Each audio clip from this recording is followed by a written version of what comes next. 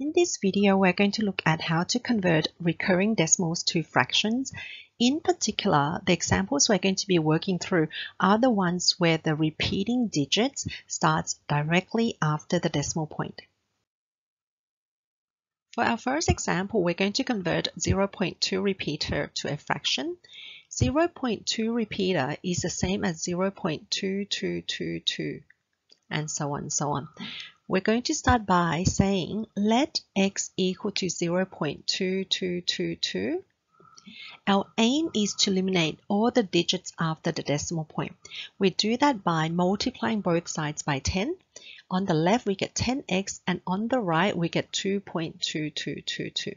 Remember, when we multiply a decimal by 10, all we need to do is simply move the decimal point one place to the right. We call the first equation 1, the second equation 2, and we say equation 2 take away equation 1 so that we get 10x minus x which is equal to 9x and on the right hand side this is equal to 2.222 minus 0.222. Now if we line this up what this looks like is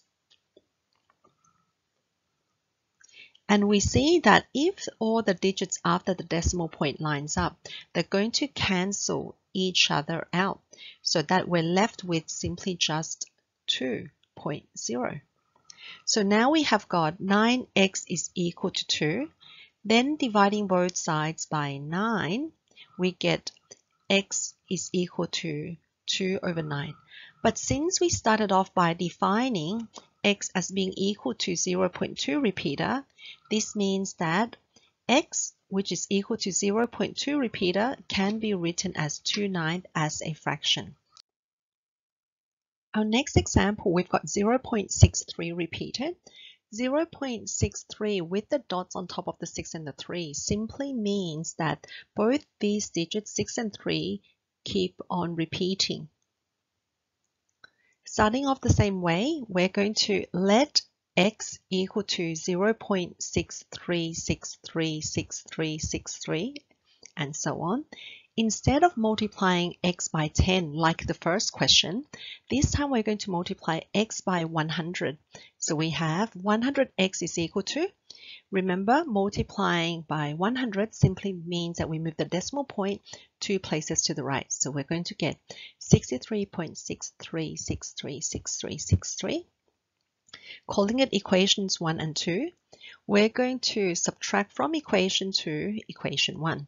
So this is going to be 100x take away x, which is going to equal to 99x.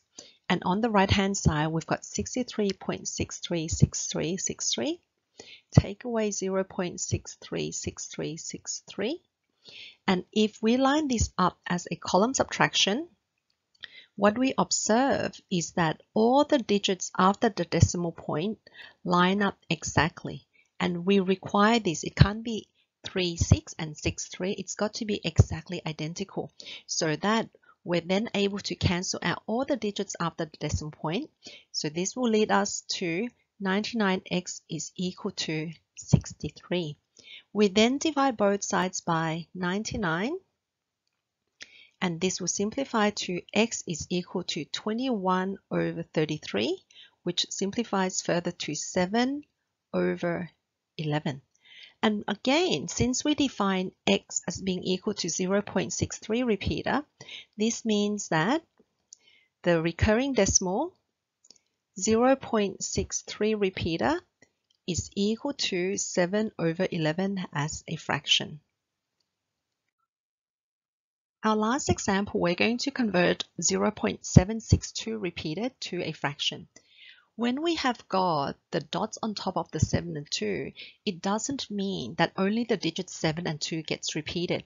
In fact, anything in between gets repeated as well. So this is the same as 0.762, 762, 762, so on and so on. Starting off the same way, let x equal to 0.762762762.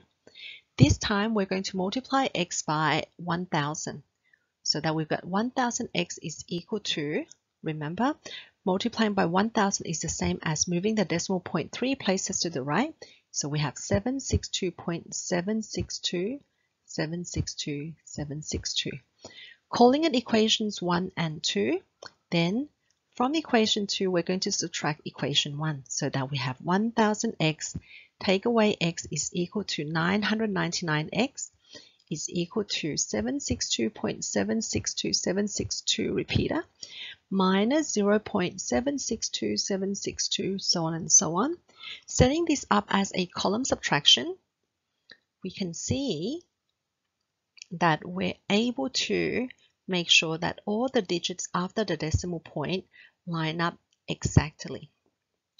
And when this happens, it means that we can cancel them out, giving us 762. So now we can write 999x is equal to 762, dividing both sides by 999. This means x is equal to 762 over 999. And simplifying this by dividing top and bottom by 3, this will then give us 254 over 333. Since we started off by defining x as being equal to this recurring decimal, we can now conclude that x, which is equal to 0.762 repeater, can be written as 254 over 333 as a fraction. Thanks for watching everyone. Hope you guys found that helpful. In our next video, we're going to look at more examples of how to convert recurring decimals to fractions. In particular, looking at examples where the repeating digits do not start directly after the decimal point. So make sure to subscribe and I'll see you all in the next video. Bye for now.